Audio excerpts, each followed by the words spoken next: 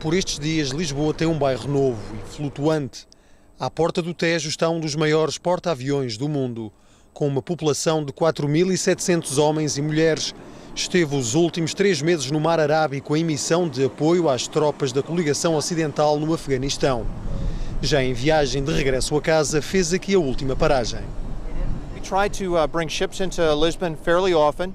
Uh, carriers come in here about every other year. It's a wonderful Liberty port. It's a great stop for us to be able to come and visit. Uh, the people are friendly, uh, and it's just a great opportunity for us to be able to take advantage of the, the, the relaxation that we can enjoy here. A pista foi o primeiro destino desta visita. Impressiona pela dimensão, 330 metros de comprimento e 75 de largura parecem grandes para uma embarcação e ao mesmo tempo pequenos para quatro pistas de aterragem e quatro rampas de descolagem. Todas podem funcionar em simultâneo. Agora servem de estacionamento a quase todos os 61 aviões da frota aérea. Nesta missão não houve baixas, mas é aqui que se passam os episódios mais complicados. I think uh, coming back aboard at night to a, uh, a pitching deck, the deck's not always this nice and steady. Uh, out in the middle of the uh, out in the middle of the North Arabian Sea, it could sometimes move quite a bit. And um, so, after a long mission, the guys coming back and uh, landing is, is actually one of the toughest things we do during the mission itself. Com o porta-aviões ancorado, ninguém ao leme. Na cabine de comando, a atenção volta-se quase exclusivamente para os radares. 152. O Eisenhower navega desde 1977, é movido a energia nuclear. Tem dois reatores capazes de levar as 95 mil toneladas de peso a uma velocidade máxima equivalente a 55 km por hora. The Navy nuclear power program, it's, it probably as you know, is, um, has demonstrated a long history of being very, very safe. In fact, uh, you know, we, we, we live and work right here with, and, and, you know, with the reactors that this carrier has. And so, no, there's, there's no risk. Mesmo por baixo da pista fica o hangar, tem praticamente o mesmo comprimento. É um espaço multiusos, tanto é garagem e oficina para aviões, como armazém, sala de espetáculos ou salão para banquetes, neste caso para uma recepção a convidados portugueses. É o piso zero de 19, para cima 8 andares, para baixo 10, e é para baixo que a tripulação faz vida para além dos aviões. Há camarotes, cantinas, hospital, um quartel de bombeiros, vários ginásios, uma capela e até um museu um pequeno tributo ao antigo presidente norte-americano que deu nome a este porta-aviões. No Eisenhower a segurança é apertada, só se entra por convite, mas mesmo ao longe pode ser apreciado. Vai deixar Lisboa no sábado, chega aos Estados Unidos nos últimos dias de julho.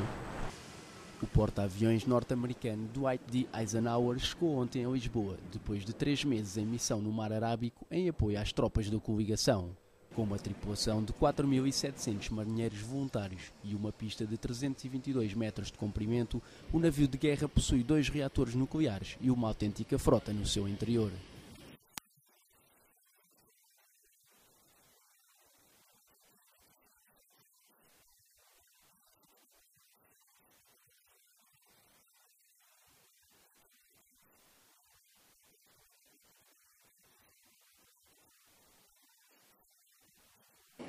Este porta-aviões demorou sete anos a construir e é uma poderosa máquina de guerra. O Eisenhower permite a aterragem e descolagem simultânea de aviões durante as missões, que podem durar de uma a sete horas, com as mais longas a incluírem vários reabastecimentos no ar.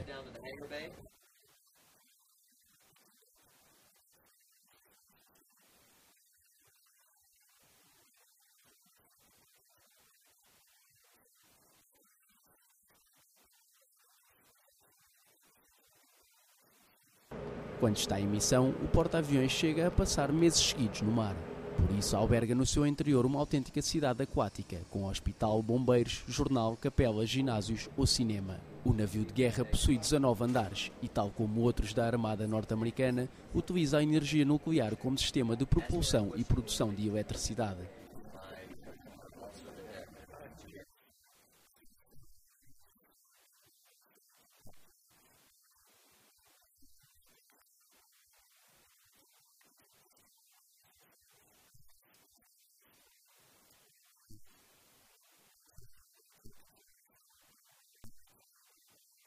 Depois das missões no Afeganistão, Lisboa é a última paragem dos marinheiros norte-americanos. Antes do ansiado regresso a casa, cerca de 100 elementos da tripulação aproveitou a estadia para fazer voluntariado em instituições de solidariedade portuguesas.